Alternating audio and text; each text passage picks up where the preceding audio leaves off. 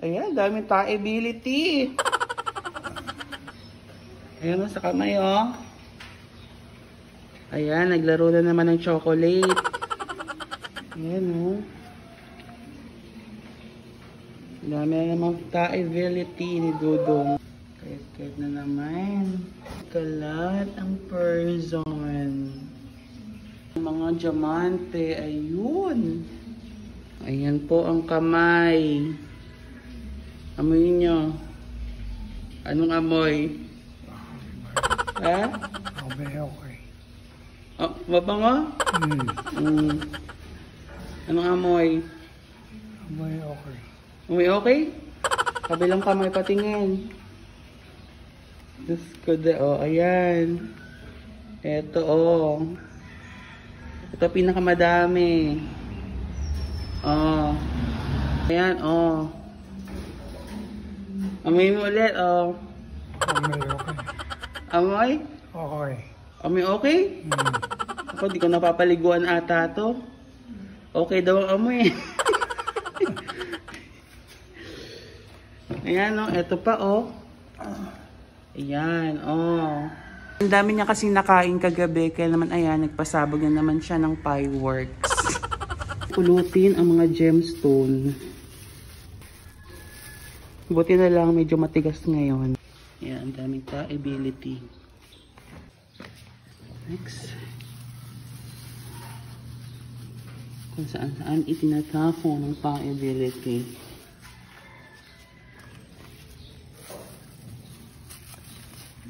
Uy.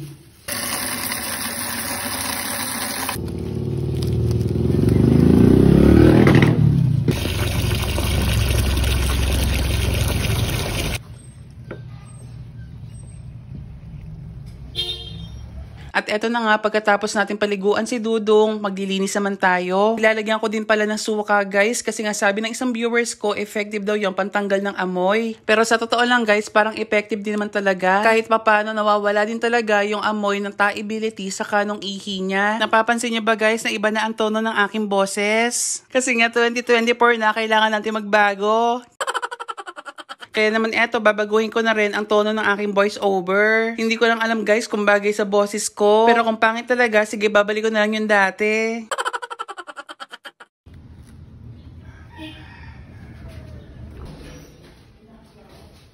One eternity later. Ayan guys, kakalinis lang natin dito. At ayan, may panibago na namang ta-ability.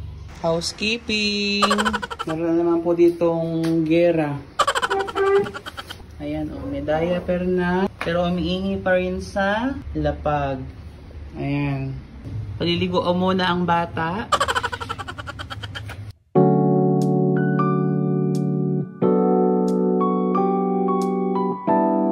So yun guys, linis time. Kita nyo naman, disaster. Kaya po basa yung sahig kasi dito ko na po pinaliguan ng aking Podra Bells. Yung pinagkainan ng pakwan. Nilagyan ko ng diaper yung tatay ko kahapon. Yun nga lang, eh, hindi pa rin siya umiihi doon. Nilalabas pa rin niya yung lato-lato niya at umiihi sa lapag. Kaya ito, ang tagal na nito sa amin, hindi pa rin nauubos-ubos kasi nga pag nilalagay namin, hindi rin naman niya nagagamit. Kaya naman no choice, hindi na lang namin siya nilalagyan ng diaper para hindi na rin masayang itong mga diaper na to. So yung kanya mga biskuit na paborito niyang kainin.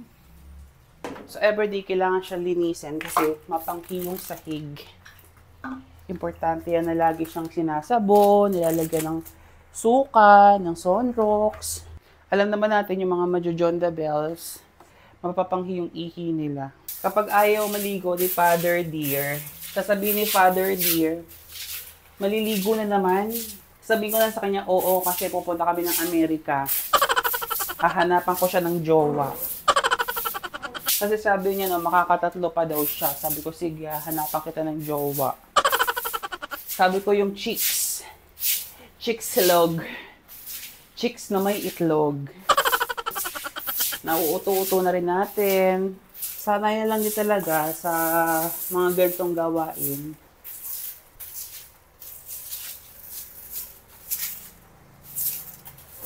Mapanghi ang sahig. Pagkatapos nito, imamap ko siya ng may sabon. Tapos lalagyan ko na rin ng konting Sunrox.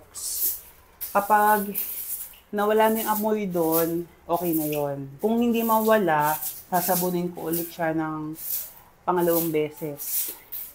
Minsan, Sunrox nga, tapos minsan nilalagyan ko nga ng suka. Effective naman, nakakawala rin talaga ng amoy. So, ito na yung bagong tahanan ng ni Dudong. Dito talaga siya nag stay before. Wala na masyadong dumi. Ang next step na gagawin natin ay mamap natin ng may sabon at Zonrox. So yan guys, caregiver, housekeeper, or kahit anong keeper kailangan enjoy-enjoy lang, tawa naman lang yung mga ginagawa mo. Pero bandang huli, hindi mo mamamalaya na sanay ka na sa mga gintong gawain. Mahirap talaga sa una, pero pag nasanay ka na, parang nag-e-enjoy ka na din. Kasi sa ngayon, wala rin naman ding ibang choice kundi mag-enjoy ka na lang. O siya guys, tatapusin ko na, baka humaba na naman itong ating kadramahan. Natapos ko na namang linisin ang kwarto ni Amo. Huy! O siya guys, babush na. Ingat! Room service! Ang room service natin, disasterability. Nagkalat as in. Uy! Oh no! Anong nangyari? Nanggaling siya sa Chocolate Hills. Ayun na nga, another day, another duty na naman kay Amo. O ayan, tinakpan ko na yung mga sensitive part kasi nga, I love ya. Huy! Oh no! Get all over the Philippines and the universe. Isang umagang puno ng lungkot. Charot. Ayan, nakikita nyo naman. Diyos ko, ah, chocolate na chocolate talaga siya. Push, laban. Talagang kinalat niya all over the Philippines. hindi ako humihinga guys. Nakakaya ko na hindi huminga. Kahit walang face mask, go na go. Ang ability ng person. Dumikitability na. Spaderability. Kaamoy niya yung tae ng mga oink-oink. Technique lang guys, para hindi ka ganun mawindang sa amoy at sa mga taeability, isipin mo na lang, yung mga taeability ay chocolate. Pagdating naman sa amoy, wag mo na lang amoy. Habang nagsasalita ko ngayon, hindi ako humihinga. Kailangan mo pigilin yung hininga mo para hindi mo malanghap yung taeability. Yan, sabon yan. Para matanggal. Eh pag nakahinga ka, yun, sasapukin ka talaga. Uy, punasan. Ito mga kanin na tinaporn. Ito ang magtatanong kung hindi ba daw nababahuan. Hindi! Hindi, hindi! hindi, hindi ako nababahuan. Itong kumot niya, kailangan namin ibabad. Kasi nga ay eh, marami na rin ability. Itong walis tambong to, exclusively lang talaga sa kwarto ni Dudong. Konting walis-walis. Siyempre pagkatapos, kailangan imap na may sabon, sunrocks, at downy. Yun. Para mawala ang jamability. Jamability. Nako, na naman ako dun sa mga makakapanood nito. Sabihin, bakit ko na naman in-upload ang ganitong video? Sorry naman. Sorry naman mga B. So yan, medyo malinis na. At kailangan na lang natin walisan at imap ulit. Para totally malinis at wala nang jamoy. Malinis na ulit.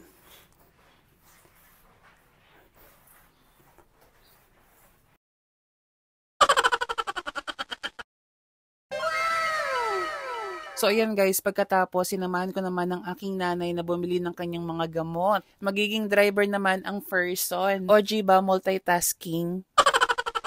Magkano kaya ang sasahurin ko nito? Huy! So habang namimili si Modra Bells ng kanyang gamot, eh nagpunta naman ako dito sa may supermarket para bumili ng anik-anik. Pagkatapos naman ay nakakita ko na nagtitinda ng mga ukay-ukay na damit. Napakamura lang niya kasi 20 pesos lang. Yun nga lang guys, puro pang babae. Pero may nagustuhan akong isang sweater kaya naman binili ko pero hindi ko alam kung sino ang gagamit. So ayun, sakto naman, inatapos na rin bumili ng gamot si Modra Bells. Pagkatapos nito ay umuwi na ang mga person. Dahil nga masama ang damdam ng aking nanay, hindi siya nakapagluto ng ulam. Kaya naman ayun, bumili na lang kami ng lutong ulam para makakain din kami pag uwi sa bahay. Buti na lang ay nakapagsaing din ng nanay ko bago kami umalis. Ginataang langka at minudo pala ang binili naming ulam. Tapos nang hingi na lang din kami ng sabaw. Tapos bumili na lang ng mangga yung nanay ko para ganahan siyang kumain. At yun lang for today's video. Maraming salamat sa panood. Babush!